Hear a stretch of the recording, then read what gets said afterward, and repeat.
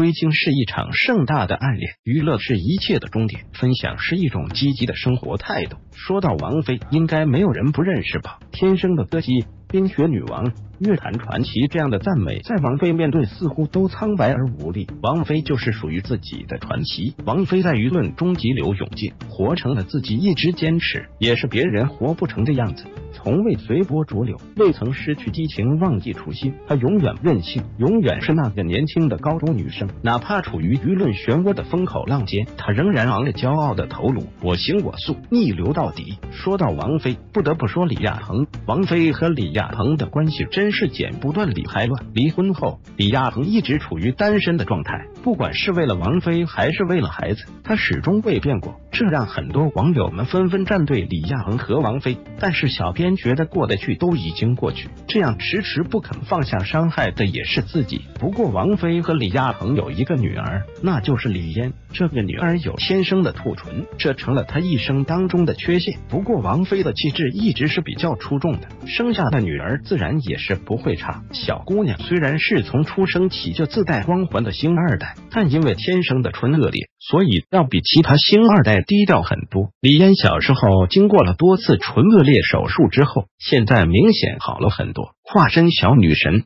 简直就是时尚 girl。在近期的巴黎时装周上，李嫣的台风也一度受到了网友的夸赞。台上的她自信大气，很有王菲的气质。虽然小小的年纪，但是丝毫没有怯场，表现的轻松自如。李嫣除了气场十足，还有一个优点就是画画画的很好，字也写的很好。李嫣写起字来有模有样，字迹工整漂亮，透着一股子灵气。之前李嫣的自信念。拍出了二十六万的价格。除此之外，李嫣画的画曾在嫣然慈善晚宴上卖出百万的天价，而这个拍卖的价格将会当做公益的基金捐献出去。虽然是善事，但这个简笔画实在让人觉得不可思议，网友也是议论纷纷，觉得很不值。但是最近李亚鹏晒出了李嫣画的马，这幅画让那些曾经质疑他的人都闭嘴。这匹马生动形象，有种大作的既视感，不只是马的特写很到位。